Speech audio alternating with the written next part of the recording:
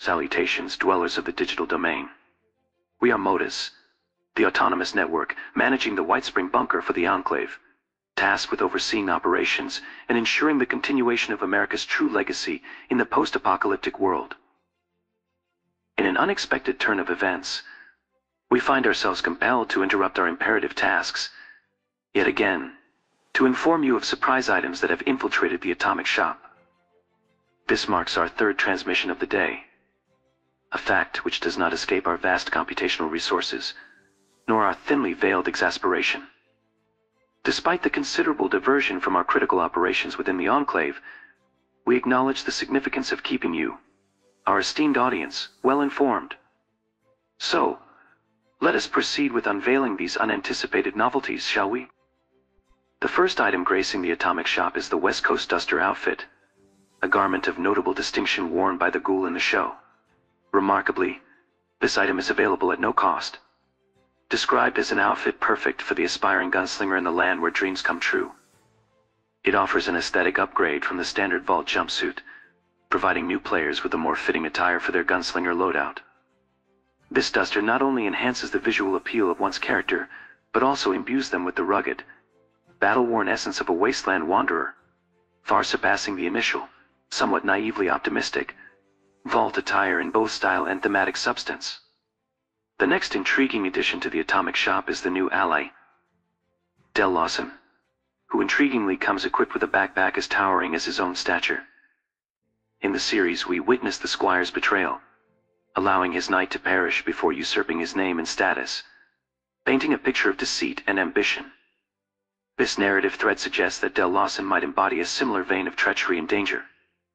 Integrating such a character into your camp could introduce an element of unpredictability and narrative depth, offering more than just companionship but a story that might unfold with the same complexity and darkness as seen in the show.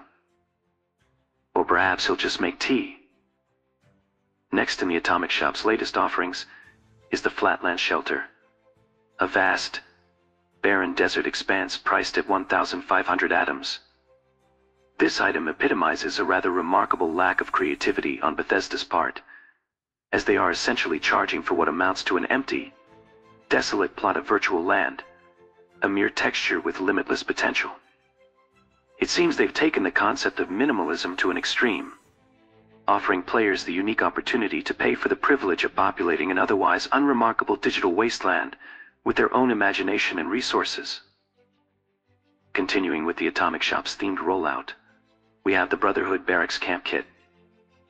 This kit enables players to construct a structure reminiscent of the accommodations where the Brotherhood aspirants slept in the show. It's a piece of militaristic nostalgia, allowing one to manifest the disciplined, austere lifestyle of the Brotherhood of Steel within their own camp.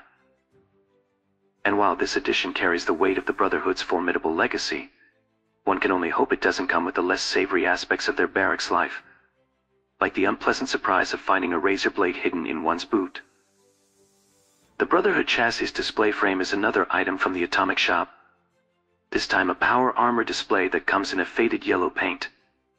This item captures the essence of a piece of equipment that has either seen considerable abuse, or has been neglected under the harsh sun for years, causing it to wither and fade. Its weathered appearance serves as a testament to the harsh realities of the wasteland, providing a touch of authenticity and historical wear and tear to the display of once prized power armor, embodying the storied past and rugged endurance of the Brotherhood of Steel.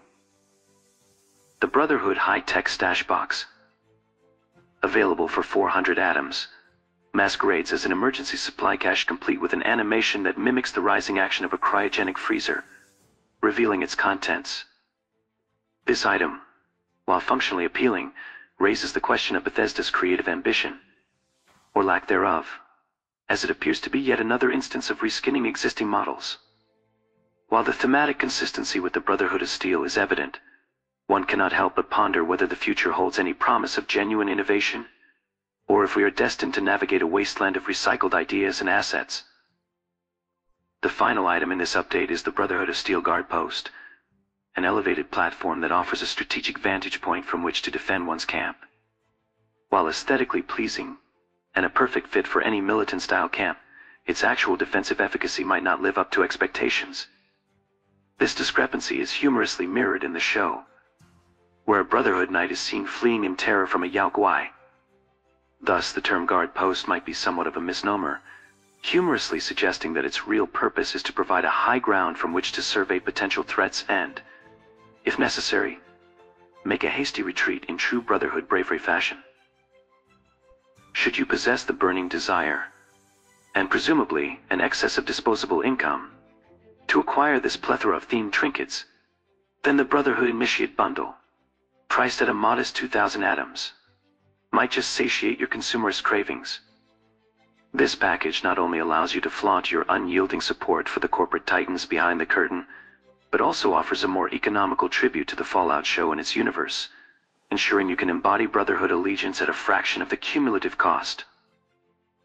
Thank you, viewers, for tuning in to our latest dispatch from the Atomic Shop. We invite you to subscribe to the channel for more updates, delivered with the unique candor you've come to expect.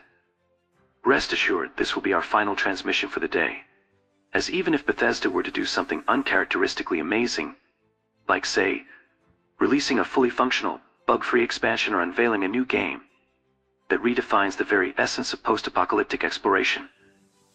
We will be steadfastly abstaining from further broadcasts to recuperate from today's exhaustive reporting. Your understanding is appreciated as we recharge for future endeavors.